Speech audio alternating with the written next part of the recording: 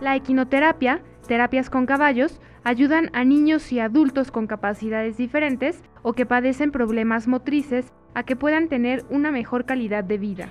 Es por eso que existen fundaciones en México con ese propósito como Vida a Galope. Marta Sada, fundadora de Vida a Galope, señala que esta es una fundación para niños discapacitados de bajos recursos en donde dan terapia a niños con discapacidades cerebrales y cualquier persona con problemas motrices.